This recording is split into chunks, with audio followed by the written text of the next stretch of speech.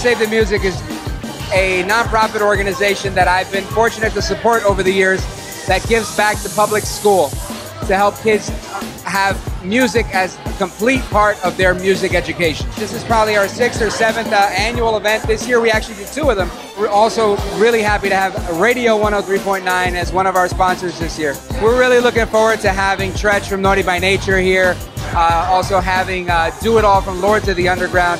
They just completed their 25th anniversary of their video, Here Come the Lords. We've also got Danielle Staub from the Real Housewives of New Jersey as well as many different emerging music artists that are here tonight. Well, the real reason I'm supporting the event because, you know, music has been part of my life for a long time, and this is VH1 Save the Music, and no matter what we do, it's all about the music. You can't take it away. It's right. I think music makes the world go round, and also this man right here is the reason why I'm here tonight. I gotta say, I'm doing great because A, because I'm here and I get to speak with you.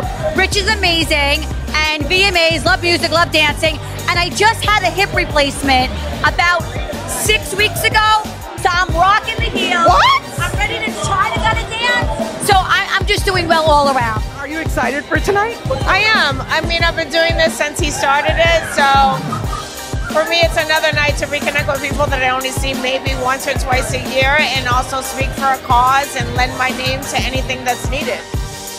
I was just evicted from the Big Brother house.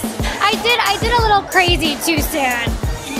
I was waiting for My the second backstory. Week, my second week on the show, I became head of household. Like I was in charge.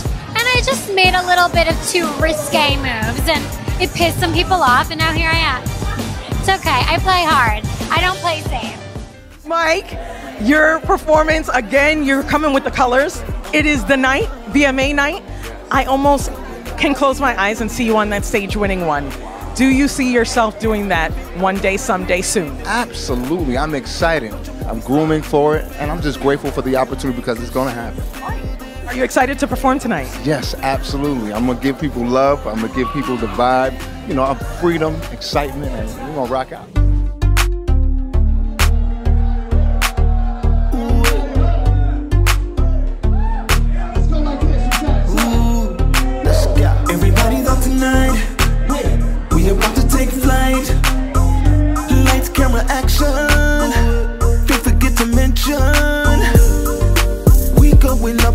Up in the air. Waving our hands like we really don't care. A bunch of movie stars in the building. Filmmakers in the building. Record labels in the building. Got the whole world in the building. Yeah. This is a legend!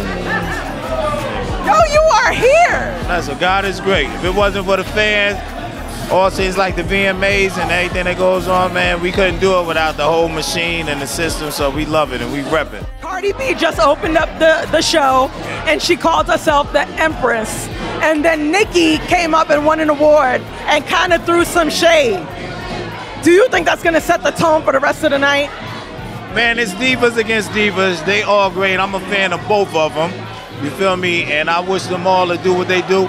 And like you know, we done went through Pac and Biggie where all got misconstrued with anything. As long as it stay on records and it stay on a peaceful beef and battle, that's what hip hop was built off of. That's what it's about.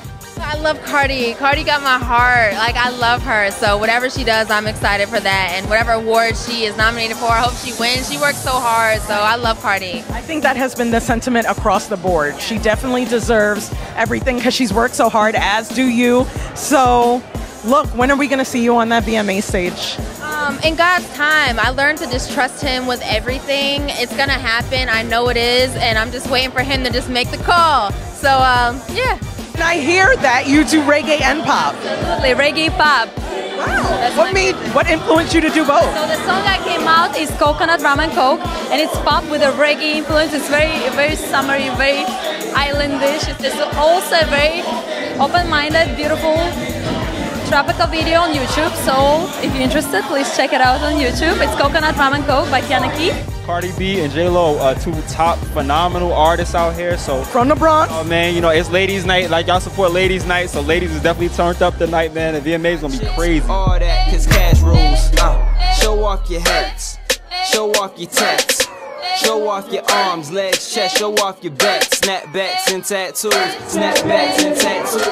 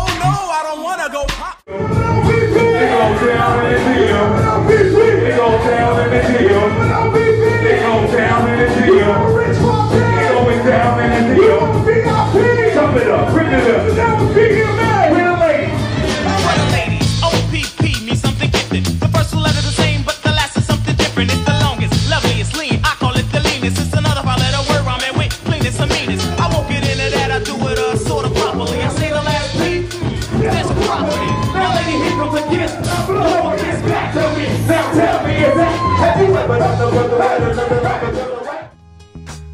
Hey, with a clip, but there's still no mountain.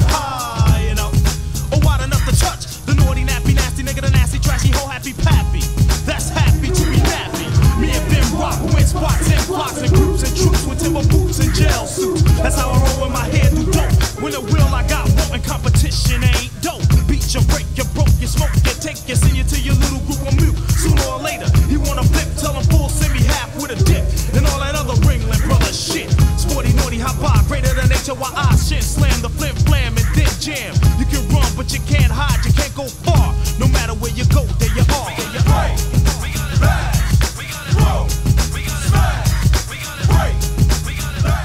Yeah, what's up? Trigger Trash up in here, Naughty by Nature. Mission 101 Media, right here. If you ain't feel it, you ain't touch it right. Right there. Nip, nip, nip, nip, naughty. Mission 101 Media. Bam. Rich Valdes, VIP. Bring this shit up here. you take the crippled mind. Can I move around, goddamn? it? Michael Jackson, shout him out. He cleared the sample for this. This is the Jackson 5. boom, boom, boom. Yeah.